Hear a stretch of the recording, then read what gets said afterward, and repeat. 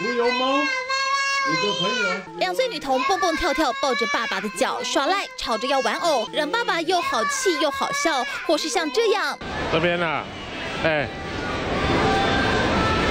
童穿着红色卡通 T 恤跟蓬蓬裙，好可爱，一边走一边摇摇晃晃，让爸爸赶快把俏皮的画面给拍下来。女童活泼天真又鬼灵精怪的模样，真的好可爱，看得出一家人感情好好。妈妈会疼疼她，我就跟他玩呢，每天都是囡仔抱来抱去笑眯眯的，因两阿某听我，哎哎，爸爸陪囡仔陪到三下晡四点嘛，啊，家才再过来，爸爸该做生意啊。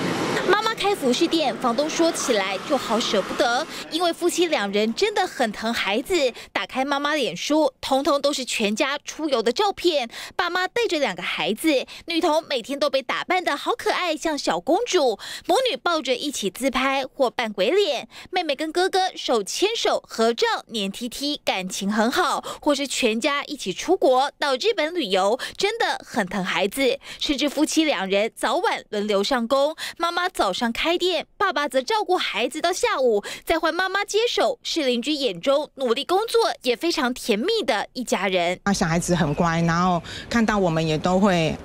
啊，阿贝啊，阿姆啊，这样子叫很贴心。礼拜五下午四点多的时候，他小孩在跟我玩，也还很高兴。小妹妹跟着哥哥蹦蹦跳跳，是爸妈的心肝宝贝。夫妻两人用照片、影片记录女儿的每个可爱时刻。对照现在的状况，让人看了更加鼻酸。记者梁嘉文，S M 小组台南报道。